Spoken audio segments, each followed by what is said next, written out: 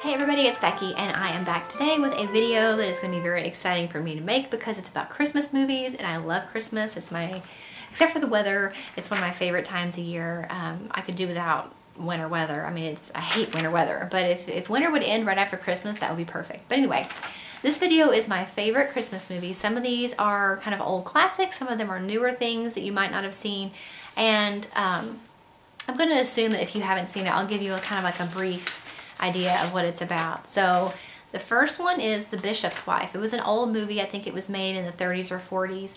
It's black and white and it's Cary Grant and I cannot think of her name, Loretta Young. And, uh, oh, David Niven too. And it's really a really cute movie. David Niven plays a bishop and, his, and Loretta Young's character is his wife. And he's supposed to be really stressed out because he's in the process of having a new cathedral built. And so he prays for God to help him. Well, all of a sudden, Cary Grant shows up and he says that he's an angel and he was who God sent to help David Niven's character. And basically, though, all that ends up happening is David Niven gets frustrated with him and and doesn't starts to doubt whether or not he's really an angel. And so, you know, Cary Grant's character, it's just really cute how they twist it at the end. And I think the main message of this movie is it's really um, it's really cozy and a really fun movie. And I think the main message of this movie is, you know, David Niven prayed for God to help him and God sent Cary Grant's character, but David Niven was frustrated because it wasn't the help that he thought he was praying for. And that happens to us a lot of times. I mean, this is not like an overtly religious movie, but it's just a really neat message of how many times do we pray for something and we maybe get an answer, but it's not the answer that we wanted, and we think, well, that must not be the answer because that's not what I asked for. But of course, God's not going to give you just what you ask for. He's going to give you what you need.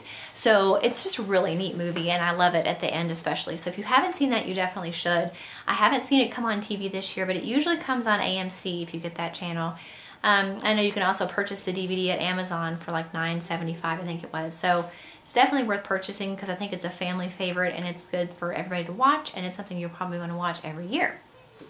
The next movie is The Holiday with Cameron Diaz, Jack Black, Jude Law, and Kate Winslet. And it's really a really cute movie, kind of like a love triangle kind of a thing. And Kate Winslet and Jude Law play brother and sister. And I don't want to tell you too much about it and give it away, but it's just a really cute movie. It's funny. Even though it's called The Holiday, it is centered around Christmas, but it's not typically a, a Christmas movie. So it's not something that you would feel like you couldn't watch it any time during the year. But we watched it last night again. It's really cute and it basically goes through the four couples and kind of shows their relationships with each other and other people. It's just a romantic comedy. I like that one a lot, so you should definitely check that one out. The next one, of course, is Elf. I mean, who could not love Elf with uh, Will Ferrell? Um, it's pretty much the only movie he's in that I actually like. I don't typically like his sense of humor, but since he's playing an elf, his humor is toned down drastically. And if you haven't seen it, it's a man that he's a human, but he was raised in the North Pole, and so he thinks that he's an elf. So he ends up having to go to New York, and he realizes that possibly he's not an elf, and um, all the different things that are funny that happen to him. So you definitely should check that one out. Jingle All the Way with Arnold Schwarzenegger and uh, Phil Hartman is really funny, and Sinbad's in that too. And it's basically, he's supposed to get this really one hot toy for his kid for Christmas, and at the last minute he realizes he did not get it, but it's like the toy of the year, and so he has to go through all these crazy things to try to get this toy for his son, and it's really funny. So you should definitely check that one out too. White Christmas is, of course, a classic. Bing Crosby, Vera Ellen, Danny Kaye, and Rosemary Clooney which um, is just a musical. It's Irving Berlin. It's beautiful colors. Um, it's just a really good movie. And if you like musicals, then you should definitely check that one out. 12 Dates of Christmas is a newer movie. I think it's still a couple years old. It is Mark Paul Gosselaar, which was Zach from Saved by the Bell, if you know who that is, and Amy Smart. And it's basically the, the typical 12 Days of Christmas movie, you know, you've seen over and over with the different scenarios of the 12 Christmas Day repeating itself 12 times over.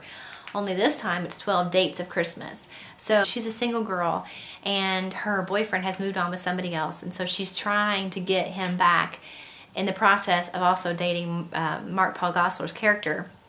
And so 12 times over, she has to keep redoing this date and redoing it and redoing it until this certain thing happens. And it's really funny and cute.